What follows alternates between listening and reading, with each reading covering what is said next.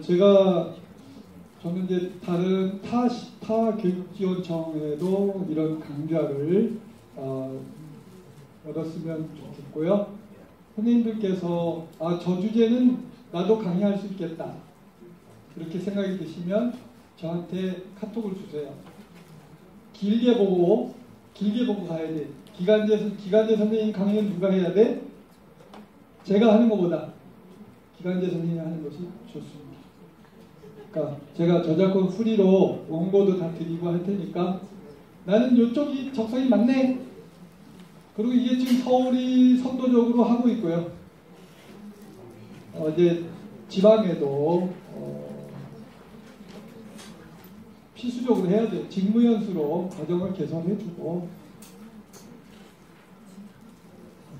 네.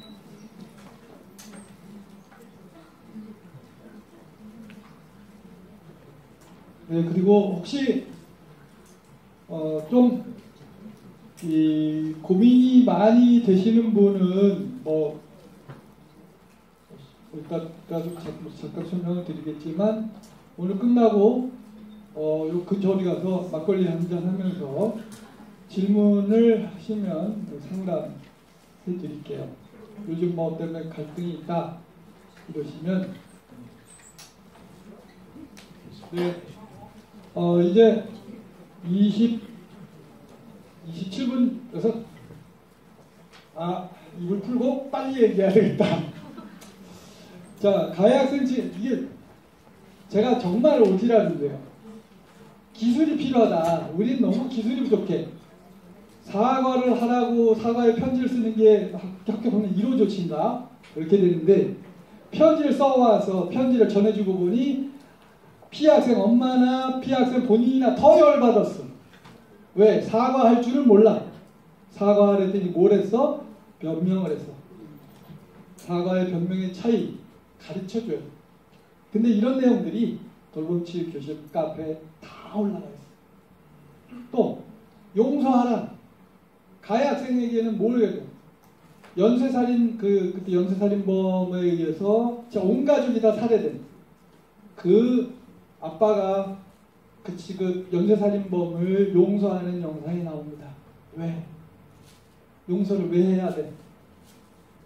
나를 위해서 용서해야 되겠구나. 이 사람을 미워하고 평생 내가 가장 내 인생도 망가져. 가장 이기적인 행위가 용서다. 이런 영상들 다 있어요. 카페 가시면 검색어만 잘 고르시면 선생님들의 교직에 무슨 고민? 제가 33년 동안 했어요. 매를 들지 않고 33년을 버텨봐. 온갖 꾀를 다 해야지. 네. 그리고 사건이 발생했을 때 입단 물고 무건 수행하라. 왜냐하면 너만 통신이라는 게 가장 무서운 통신이야. AP, UPI보다 더 무서운 통신이 너만 알고 있어. 그러면 말이야 아무리 갖고 있는 무서운 통신입니다. 학교 사회에서도 선생님들 회식 자리에서 누구 흉을 봤어. 그거는 면전에서 얘기한 것과 크게 다르지 않아. 왜? 무슨 통신? 그 무서운 너만 통신. 내 입 밖으로 나온 거는 마이크 대고 한 거나 똑같다는 걸 애들에게 교시.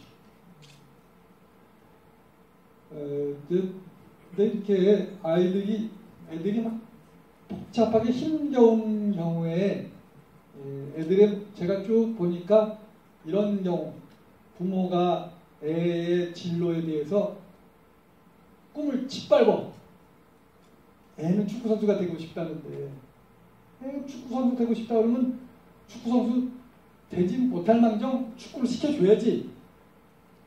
이게 로미오와 줄리엣 효과라고 안 시키면 더 하고 싶어.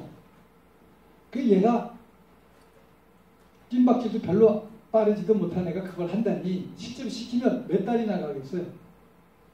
근데 그거를 짓밟아 놓으니까 얘가 음 엄마 아빠가 나의 꿈을 짓밟았지 복수합니다. 걔네들 복수하는 거 간단해. 어떻게 뭘 안 하면 돼. 그렇지.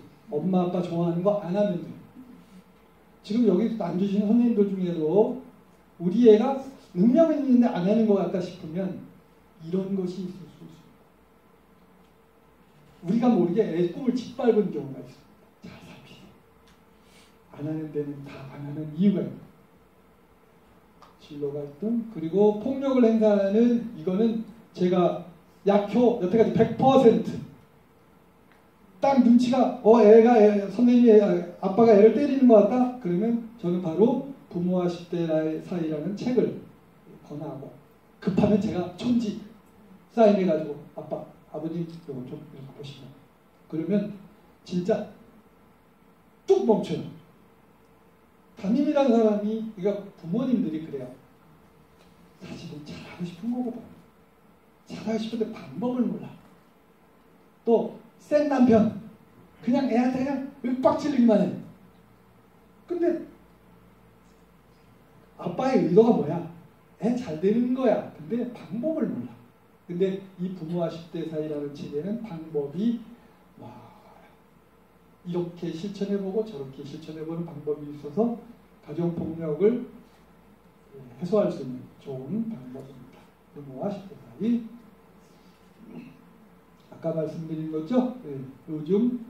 그리고 면담할 때 학부모님한테 학부모님 좀 뵙고 싶어요 이럴 때 전화해가지고 어머니 얘 때문에 힘들어 죽겠어요. 이러시면 어떤 반응 돌아와? 조심하셔야 돼 그러니까 선생님들 돈 많이 받으시잖아요. 대뜸 이게 그 으, 이게 그게 말이야 막걸리야 그지? 그리고 선생님 어머니 애가 뭐 수업 시간에 뭐라 했더니 눈을 동그랗게 뜨고 대들어요 그랬더니 엄마 선생님 그럼 네모나게 뜨세요? 이렇게 총을 맞아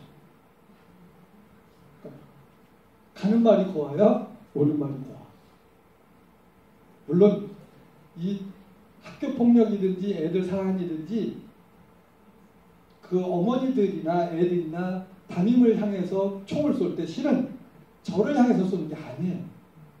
괜히 가서 가슴 들이대지 마. 이게 아까도 그 도표를 생각하셔라. 뭐에 대한 원망이야? 세상에 대한 원망. 거기다 가슴 대지 마시고 그러면 재빨리 매트릭스처럼 돼요. 저쪽에서 통, 총을 딱 쏘면 어떻게? 즈아. 이제서 즈아. 이걸 잘해. 허리가 아, 큰일 나겠고. 이걸 잘하셔야 돼요. 정색하는 진우야.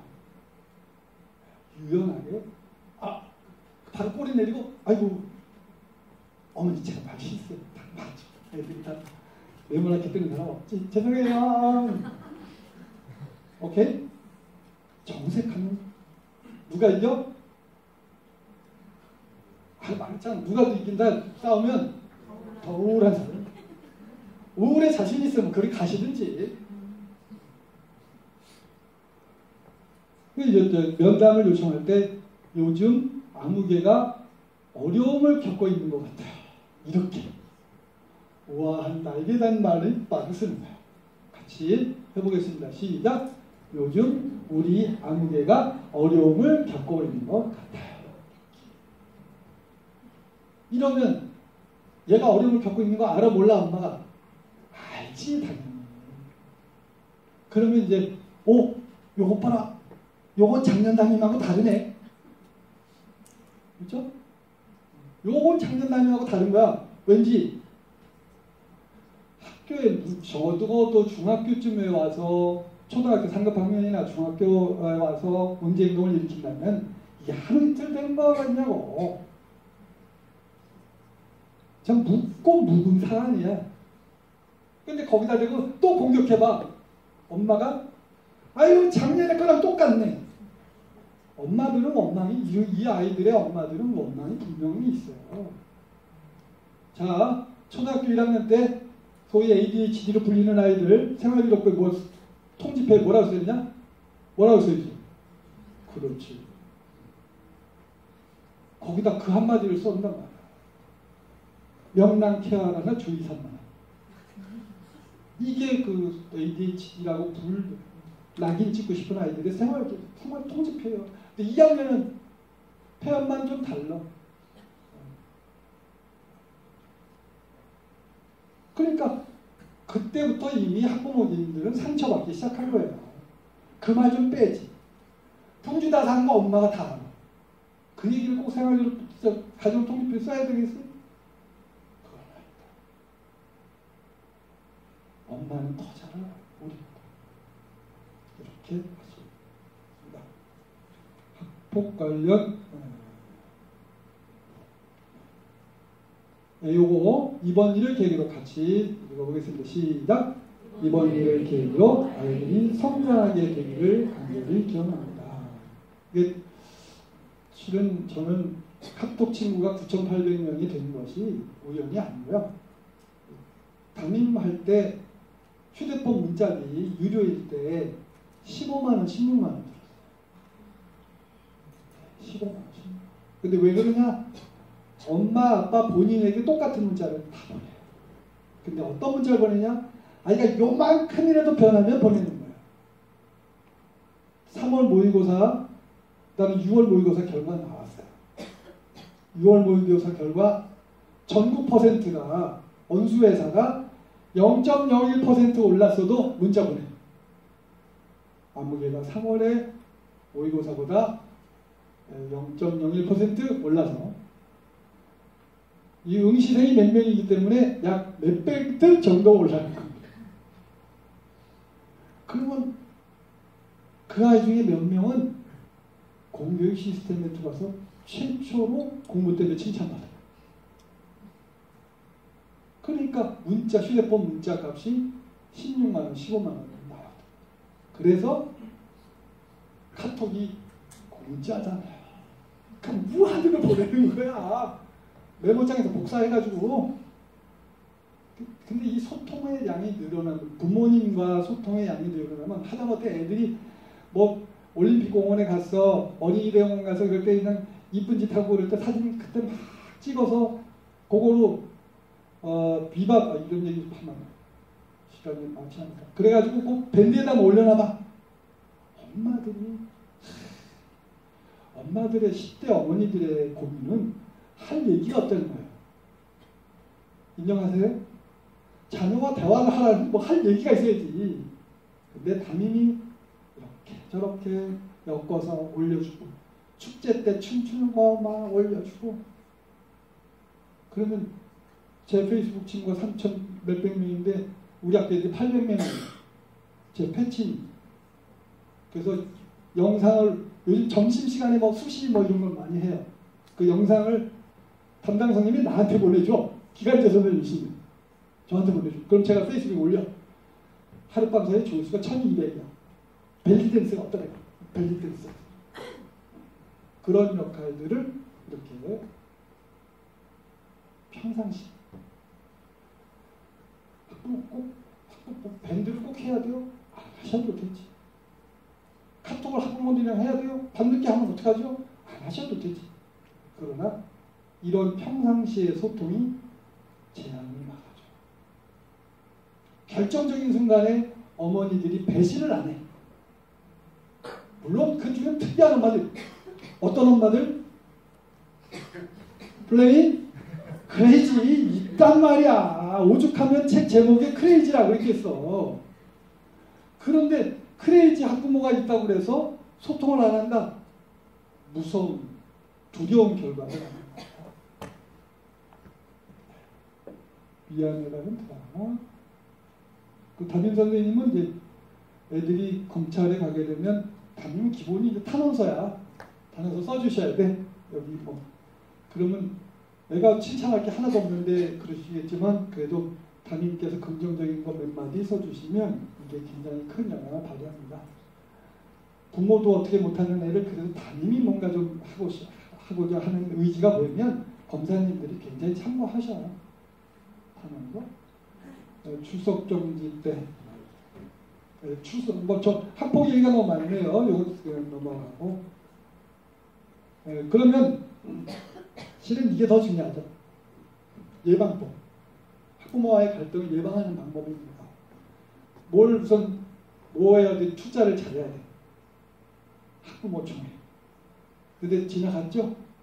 우리 반에 학부모총회 10명 이상 왔다. 오, 잘하시구나. 이건 거의 마케팅이야. 왜? 희한한 게 학부모총회 때 오셨던 어머니들은 나중에 무슨 사안이 돼도 분명히 내가 실수가 있었어도 저를 감싸고 돌으셔요.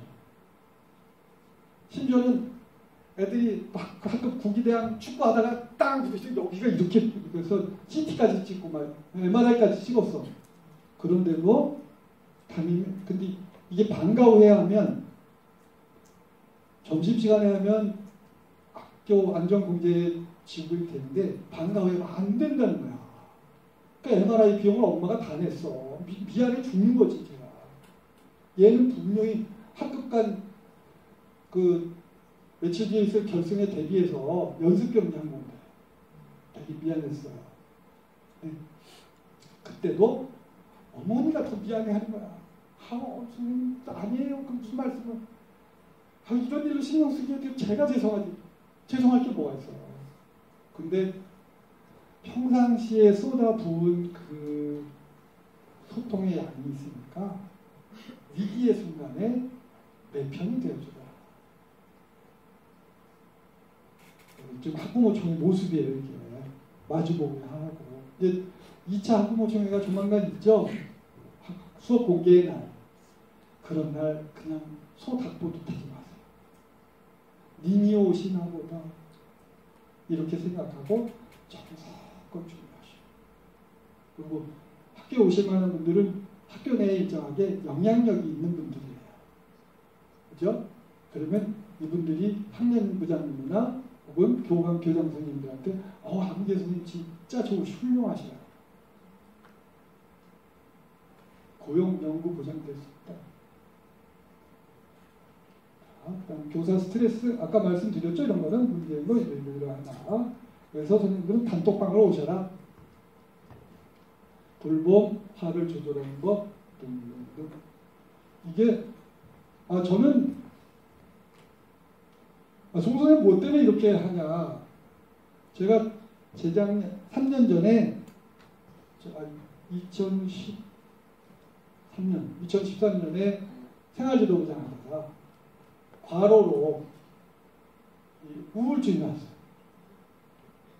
어떤, 어떤 생활, 생리부장님은 자살까지 하셨잖아.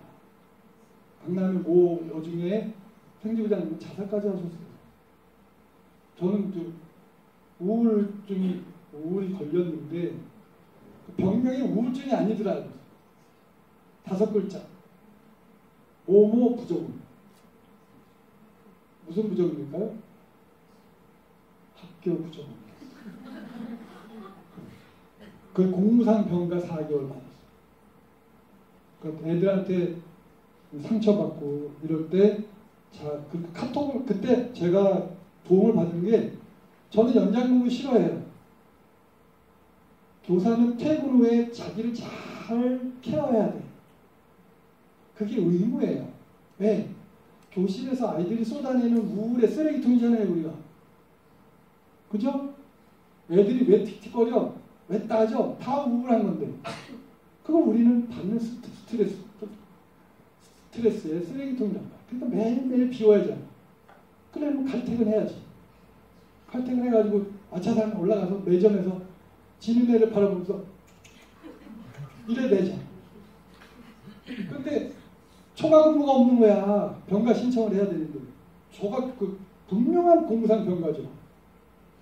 근데 그 그때 구세주가 생활지도부장 카톡방에 있어요.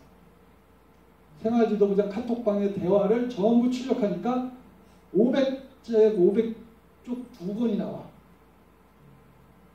치열했었잖아요. 그것도 주로 새벽, 한밤중에, 주말에 그거 다 분홍색 펜으로 칠했어요. 손님들께서 카톡이나 밴드라든가 이런 걸 하는 게 나중에 위기 상황에서 증거물이 되어져요. 그 그것 때문에 공무상 병가가 됐어. 좋은 계절에 공무상 병가 4개월. 지금도 잊지 못해. 그걸 잊지 못해서 올해 이렇게 자율규직을 하고 있어요. 근데 어, 디피컬트라고 했는데 학부모님들만 디피컬트 하면 되는데 내가 나를 이해하기 힘들어. 그죠? 잘못하면 우울 간의 전쟁이 벌어질 수 있습니다. 저 부모 어머니들 집에 자녀를 둔 분들께 저 제가 어, 제가 얻은 팁을 하나 드릴게요. 우리 딸이 초등학교 5학년 때쯤에 굉장히 까칠했어요. 이상한 행동을 많이 한 거야. 그래서 어 여보 이거 ADHD 아니야? 이상한데? 그래서 전문가 연, 저 상담을 받았어요. 근데 그 ADHD 검사 몇백 문안 다 하고 근데 선생님이 ADHD는 거예요. 그래서 처방을 내려준 게 이거예요. 집사람은 초등이거든요. 퇴근 후 15분 동안 아이에게 등을 보이지 마라. 처방을 이렇게 내렸어. 애하고 15분 동안 대화를 나눠줘라. 그 처방도 끝내서 오고 신경질 전문의 맞아? 그걸 처방이라고 해? 그딴 말이야. 근데 집사람의 그동안 행태를 보면 집에 오면 가방 놓고 어디부터 가? 주방 가서 불부터 켜지 물부터 끓이죠? 그랬단 말이에요. 그런데 그 결정적인 순간 엄마와 헤어졌다가 다시 만난 그 결정적인 15분간 엄마가 나에게 온전하게 거예요. 딱 3일 지나니까 애가 완전 달라진 거예요. 그래서 critical 15 minutes 결정적인 15분이다. 이게 하루 1440분의 단 1%. 그래서 소형사람들도 어, 부부와 혹은 자녀와 그 1%의 시간을 남김없이 바쳐요. 오늘 집에 가셔서 아내에게 그러면 이 사람이 미쳤나? 저는 지금 어머니께서 팔순 어머니께서 굉장히 심지어 이제 아프시니까 그러면 퇴근 후에 집에 가서 어머니하고 15분 놀아드리기. 15분 되게 길었대. 퇴근 후 같이 읽어봅니다. 시작. 퇴근 후 15분 아이에게 등을 보이지 마라. 3일만, 일주일만 해보세요. 그때 어떤 학부모 교육 때 이거 했더니 전화가 왔어. 선생님, 어떡하죠? 왜? 애하고 15분 놀아줬더니 밤새 놀아달래요. 얼마나 안 놀아줬어요. 15분쯤 실컷 놀아주면 엄마 됐어 가 밥해 이런단 말이에요. 그리고 이 제가 오늘 영상 촬영이 있어서 사실은 넥타이를 딱 내고 오랜만에 어? 와이셔츠 딱 데리고 했는데 와이셔츠 입고 넥타이 메고 이 강의로 오면 안 돼. 왜? 오늘 강의 주제 속에 하나가 중요한 소진, 회복이에요. 근데 넥타이 메고 회복을 얘기할 수가 없어. 잘 보시면 여기에 흰 발이 이게 구두처럼 보이죠? 여기 등산화요. 네. 바위도 타. 리치 타. 리치. 그러니까 저는 퇴근하면 바로 산으로 가는 거예요. 그 산으로 가서 정상에 가서 막걸리 한 잔 먹고 동아리도 교회 동아리 맡아 바깥에 나가는 거. 이름은 뭐 등산반 또는 하이킹반, 뭐 호연지기반 그러나 다 똑같이 노는 반이에요. 프로그램 없어. 애들 보내고 저는 혼자 이렇게 자. 자신을 되돌아봐. 주 3회, 특히 40 넘어가신 예, 여선생님들 주 3회에 반드시 자기를 돌아보는 시간을 가십니다. 아니면 어느 날 남편의 밥 씹는 소리가 듣기 싫어졌다. 미워져. 엄하게 위생병인 남편만 미워져. 경사면에서 막걸리를 쓰러뜨리지 않는 방법. 등산화에다 놓으면 안전하게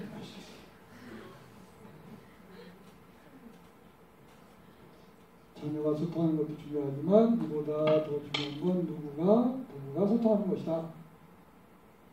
자, 같이 놀자. 고, 교사의 스트레스가 굉장히 깊기 깊 고 넓어서 휴식도 상당히 고농도의 휴식을 취해야 됩니다. 그냥 막연히 집에서 이렇게 누워 있는 그 정도는 이게 만성 피로가 풀리질 않아요. 이렇게 미친 듯이 놀아야 돼. 꼭 구경 좀 다니셨어요? 교직은 우연히 봄 화장실에서 손 씻다 보니 어? 꽃이 폈네. 이런 우연히 보는데 속절없이 피는 꽃이 없어요. 우리만 속절없이 바빠. 끝까지. 이제 철쭉 지고 나면 철쭉이 마지막이잖아요. 이제 또 5월달에 장미예요.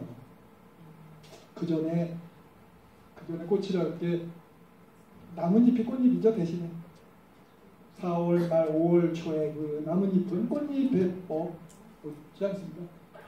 부부간의 소통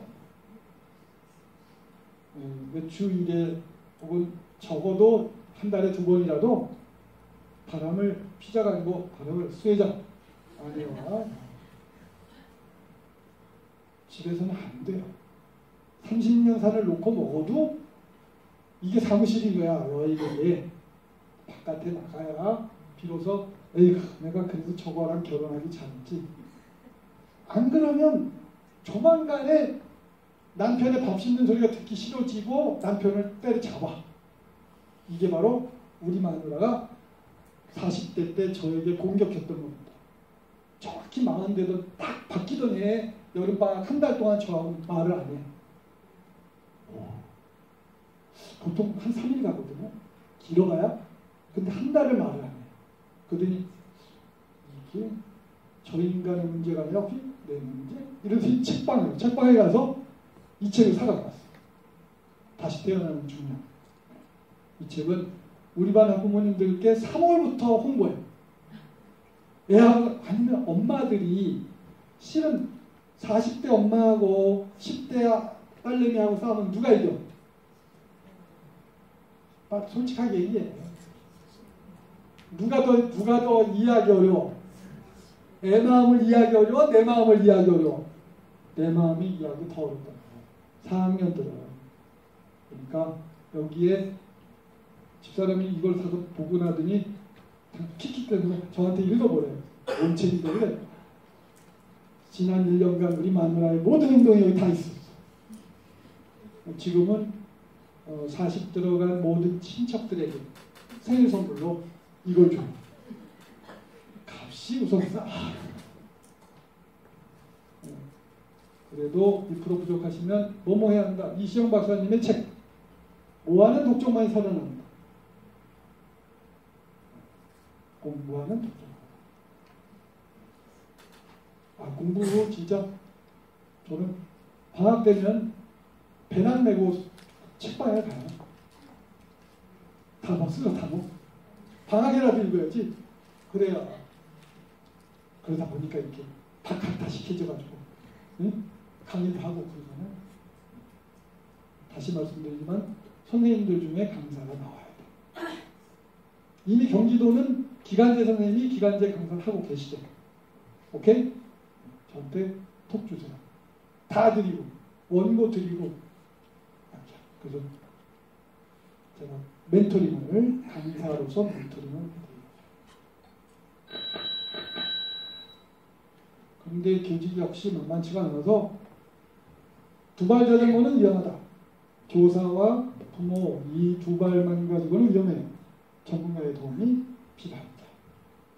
저한테 명의 리스트가 있어요. 신경정신과 전문의들 리스트가 있으니까 힘드시면 저한테 전화 톡 주시면 그 리스트를 보내드리고 또 학부모 중에 혹은 아이 중에 어려움을 겪고 있다. 그러면 명의를 만나야지. 제가 이렇게 전문가를 소개해드릴 수 있습니다. 자, 이제 마무리할 시간. 어디서 뵙자? 카톡에서 뵙자. 오케이. 정확하게 20초 남았습니다. 네, 질문은 카톡에서 하는 걸로 네, 카톡으로 뭐 소감 한마디 주시면 다음 과정 설계할 때 아마도 이제 다른 시- 저, 다른 교육지원청에서 이런 설계를 할 때이 어, 제가 혹시 자문을 하게 될지 몰라요. 그렇죠? 여기가 선두제니까 그러면 여러분께서 주신 정보가 그게 제일 중요한 정보죠. 아 그리고 이런 강좌도 좀 있었으면 좋겠다라든지 그래서 근데 어쨌든 다음에는 직무 연수 15시간짜리 직무 연수로 다시 한번 죄송하다고 인사드릴게요. 감사합니다. 네, 좋은 강의 주신 선생님 감사합니다. 그 다음 주 수요일에 다시 선생님들을 뵙겠습니다. 다음 주 수요일에도 4시에 연수가 시작되겠습니다. 자, 오늘 감사합니다. 그리고 주말 즐겁게 지내십시오. 감사합니다.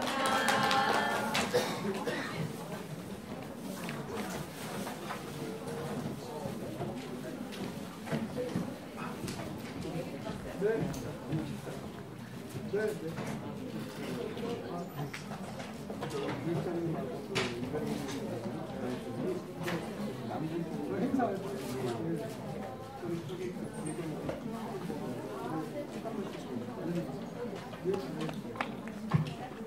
감사합니다. 어, 상품 안 가져가시네?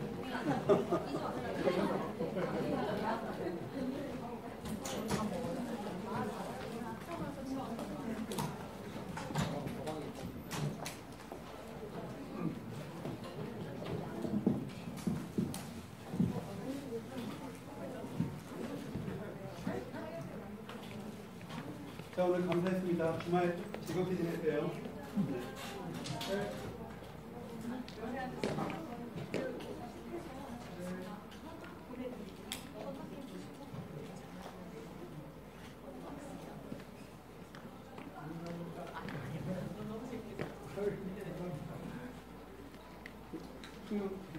아, 그래? 아, 네. 네. 제가 이제 업무 메일로 그이 내- 내용을 좀 전해드렸는데 지금 저 자유시 음, 네. 그래서 아마 업무 메일 못 보신 것 네, 같아요. 어, 네. 여기로 저그 원고 PPT 파일 좀 보내주시면 네. 제가 그 답장으로 해가지고 네. 그좀 이렇게 저희가 네, 네. 원고를 드리기 위한 기본적인 네. 여기다 깔아놨는데. 예, 강사 카드 뭐 이런 거를 좀 받아. 아, 예, 그치. 예. 다 안 드렸나? 나? 저 아직 하나도 아, 글쎄요? 아마 다른 어. 그저께 강의하신 우선아 선생님 거만 어? 있더라고요. 예, 예, 예. 그렇죠.